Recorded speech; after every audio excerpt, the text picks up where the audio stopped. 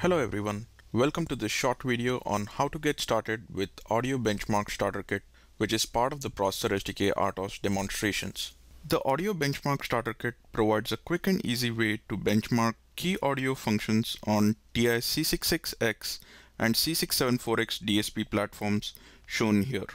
This will enable you to evaluate DSP performance for core audio algorithms on TI evaluation platforms using Processor SDK RTOS. The starter kit currently supports benchmarking of three signal processing functions. Complex fast Fourier transform that allows users to perform frequency analysis on audio signals, real block FIR filters, and cascade biquad two-channel three-stage IIR filters that are used for filtering frequency content in audio signals. The starter kit package demonstrates signal processing functions from TI-6000 DSP library, which contains several kernels optimized for TI DSP architecture. It also familiarizes users with benchmarking on TI DSP. Documentation for this demonstration can be located on ti.com or on the wiki documentation for Processor SDK RTOS. Let's start by exploring the audio benchmark starter kit software in Processor SDK directory. While the starter kit is part of all TI DSP devices that are supported by Processor SDK RTOS, for the purposes of this video, we'll look at audio benchmark starter kit in SDK 4.x release for K2G platform. The Audio Benchmark Starter Kit is located in the Processor SDK RTOS release under Demos folder. On this system, I have chosen to install the Processor SDK under K2G PR SDK 4 under the default C colon TI location. You can browse to the Demos folder and locate the Audio Benchmark Starter Kit. The directory structure contains a directory for documentation. Pre-built binaries directory contains pre-built out files to run the benchmarks. Scripts directory contains .text files that can be used to generate CCS projects and SRC folder that contains the source code for all the benchmark projects. StarterKit software supports two ways to build benchmarks using either Makefiles or Code Composer Studio. This allows you to choose the best approach depending on your familiarity with each of those build environments.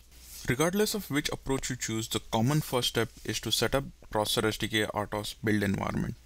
In order to do this, you will have to open up a Windows command prompt and set up the SDK install path as shown here. You can then go into the SDK install location and run the setup env.bat file to set up the SDK hmm. build environment. Let us first take a look at how to build the benchmarks using Makefiles. In order to do this, browse to the root directory of the audio benchmark starter kit. Before you build, it's always recommended that you do a clean to remove intermediate files from the previous builds. Once you do this, you can look at the full range of make options by looking at gmake help and then invoke building the entire directory using gmake all. The build may take a few seconds to complete. The Makefiles picks up the SOC definition from the SDK build environment and builds the package for that particular SOC.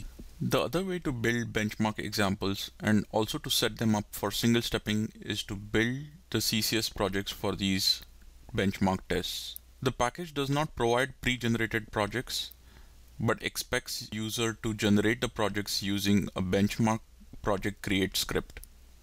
As in the case of Makefile based build, the first step to do this is to set up the Processor SDK RTOS build environment. In addition to setting up SDK install path, you also need to point to the CCS install path by setting up the tools install path variable in the build environment. Run the setup env.bat file from the root processor SDK directory. Once the setup env.bat has been set up, you're ready to run the benchmark project create script. In order to do this, go to the root directory of the audio benchmark starter kit and invoke the benchmark project create script using the arguments provided in the script file. Let's look at the arguments in the benchmark project create.bat script that's provided inside the root tree of the audio benchmark starter kit. The script expects three arguments, the SOC argument, that specifies the SOC for which the benchmarks need to be built, board that specifies the evaluation platform, and a module. Since we're building this for K2G, let's specify the variable to be K2G and build it for all platforms and all modules. The CCS project creation can take a couple of seconds. When the script completes execution, you will see that a new directory called benchmark projects is created in the root directory of the audio benchmark starter kit. These projects can now be imported from the SDK area and built in the CCS environment. In order to do this, browse to the location where the projects have been created. And once the projects are imported, you can right click on the project and build them at the end of the build, you will see that the out file has been generated as indicated in the CCS console. Now let us run this out file on the target. In order to do this, go to the target configurations, locate the target configuration for the evaluation platform on which you're running the benchmark. For this, we have set up the K2G EVM with XDS 200 USB emulator with the EVM configurations. Let's now launch the target configuration. When the target configuration is launched, you will see that all the cores will show up in the debug view. Now connect to the DSP core. When you connect to the DSP core, a gel file will run that initializes the device clocks and the DDR memory on the device. In order to run the benchmark, go to Run, Load, Load Programs and browse to the project out file. Now load it on the DSP. When the out file is loaded on the DSP, you will see that the DSP core will enter into the first instruction in main. You're now ready to run the code. When you run the code, you will see that the output of the benchmark test shows up in the CCS console. The second approach to running audio benchmarks is to use an SD card boot on the K2G EVM. This is useful especially when you do not have an emulator or do not want to download and set up CCS environment to run these benchmarks on your SoC. The SD bootable application binaries are located in the package under pre-built binaries boot images under a folder for the evaluation platform. You can also create your own SD bootable binaries using the create sd.bat script provided. In order to create an SD card, insert the SD card inside the host PC. You should see an additional partition created on your host machine that needs to be formatted in a FAT format using procedure described in create SD card in Windows or create SD card in Linux instructions provided in the SDK. In order to boot from the SD card, you need a bootloader binary that can be found under pre-built SD cards for the platform that you're using. Copy over the MLO file into the SD card. Next, copy over the application binary for the benchmark test that you wish to run from the SD card. Go to the SD card partition and rename the binary file to app. This is required because the secondary bootloader inside processor SDK RTOS expects the application binary to be named app. Let us now set up the EVM hardware for SD boot.